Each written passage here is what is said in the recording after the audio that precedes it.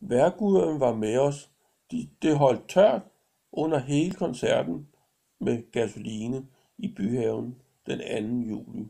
Det var så fantastisk. Det var powerkvinder, der vil noget med deres musik.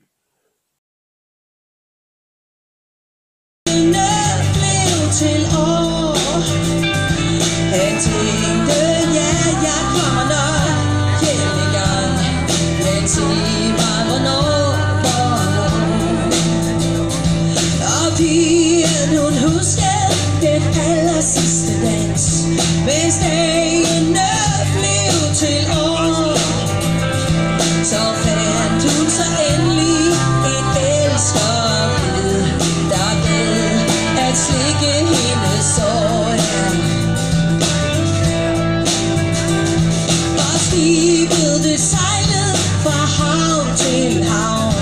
existe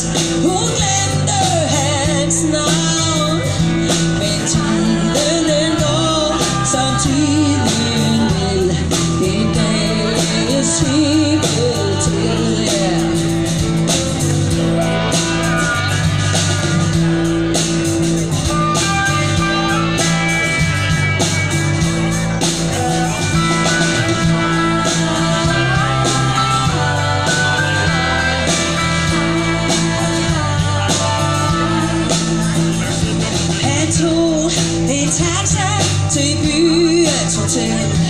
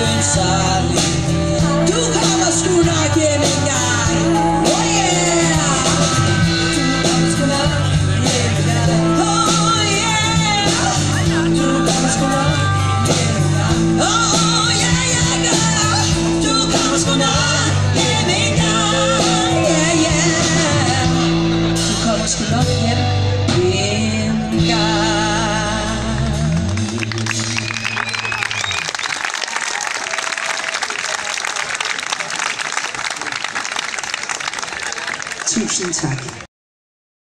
Men øh, Lisbeth, hun har taget, øh, kommet til at putte sin guitar i tumbleren. Det er meget dumt at sige det. Men jeg kan ikke lade være, for den er så skidesød, den her ukulele. Øh, man kan snakke meget om den tid, vi lever i, øjeblikket. Om den er kold eller varm. Men øh, vi kan have lidt stof til eftertanke. Her kommer den. Der er mange, mange drømme. Der er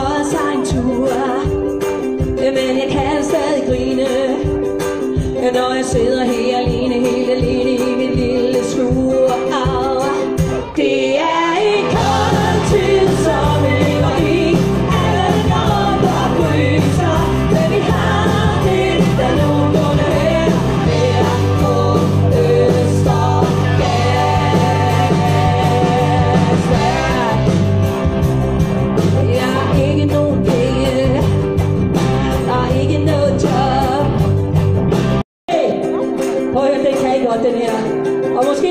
både kan klappe og synge, så syng.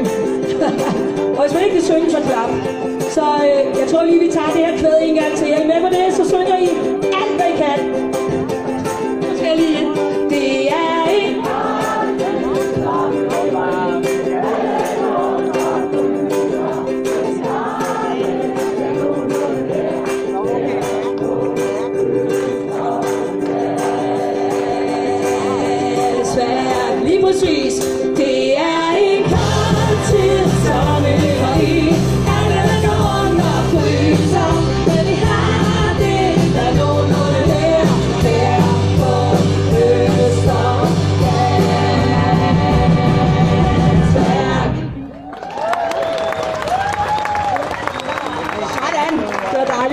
Og I synger så godt.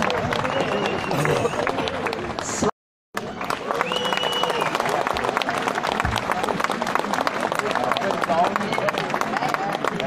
Tusind tak. Rigtig, rigtig dejligt. Det er skønt at se alle jeres mundebevægelser, fordi når vi spiller med det her store lydtryk, så er det lidt svært at høre jer, ikke?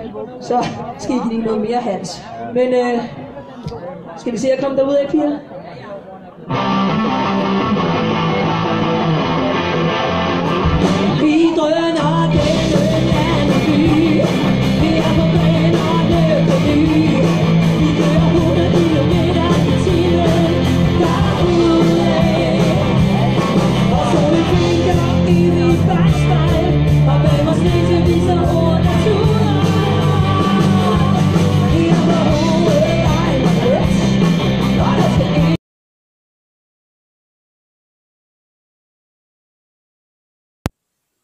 Natten mellem den 2. og den 3.